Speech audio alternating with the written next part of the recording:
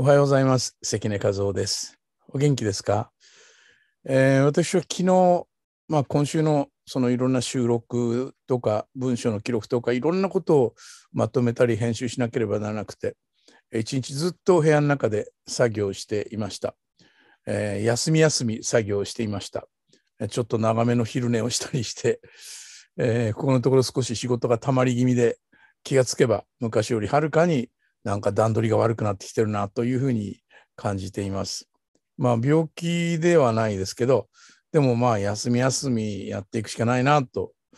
うん、なんかこう、昔と同じペースではいろんなことができなくなってきたなというのは、あなんかとても強く感じています。まあ元気なんですけれど、休む必要っていうのはあるなというふうに、えー痛切に感じています。で、そんな中でこんな文章を見つけました。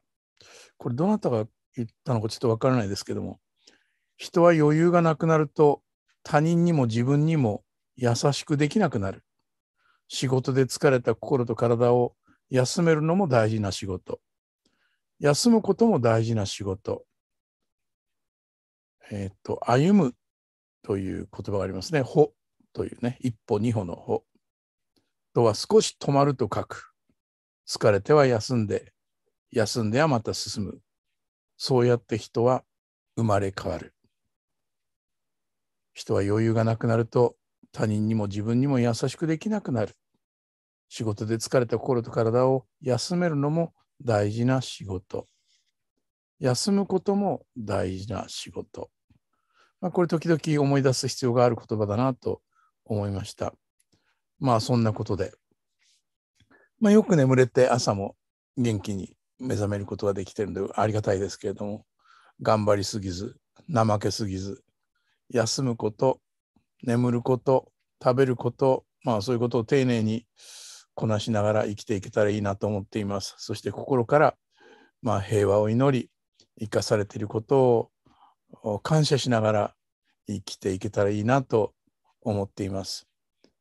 あ実は昨晩カウンセラーの永原先生との対談があって大変有意義なお話を聞くことができたんですけれどもなんかいろいろな問題があってそれを乗り切る時その感謝しますとかありがとうとかつまり自分だけよかったと言って終わるんではなくて感謝しますとかありがとうございましたとかそういうふうにこう外に向けて発信できるとそれがなんか自分にとってのこう原動力になるというか一歩前に進むための力になるんではないかという話がありました。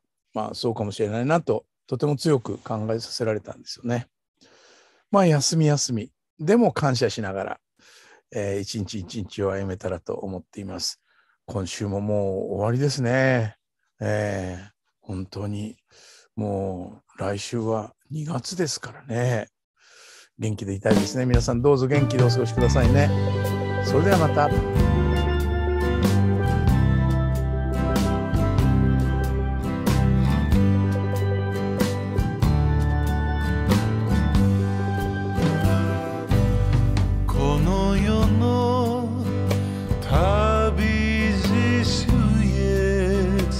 cool.